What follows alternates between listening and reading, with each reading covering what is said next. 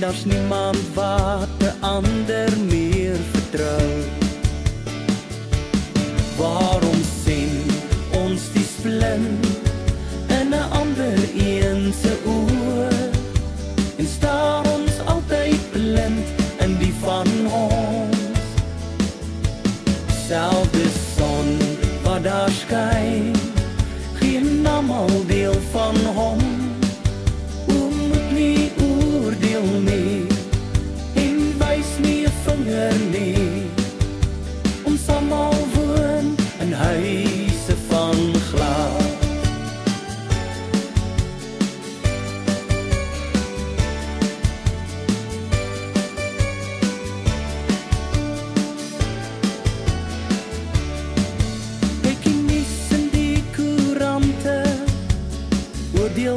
Van alle kante. Is daar dalk 'n skuldgevoel wat skuil? En die mense praat en skinde Oor die dinge wat al hinder Maak nie saak wie hy nie, dis styl. Waarom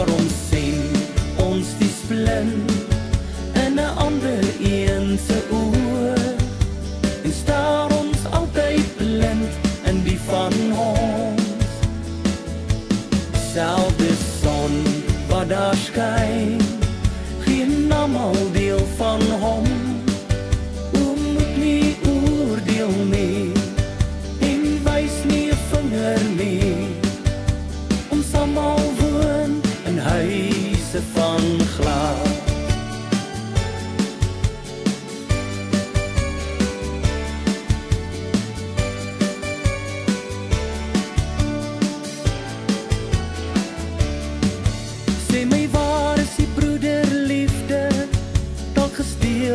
Deur die nagdiewe. En al wat nou nog oorbly is verwyte en kritiek. Waarom sien ons die splint in 'n ander een se oë? En staar ons altyd blind in die van ons? Selfde son wat daar skyn, geen almal deel van hom.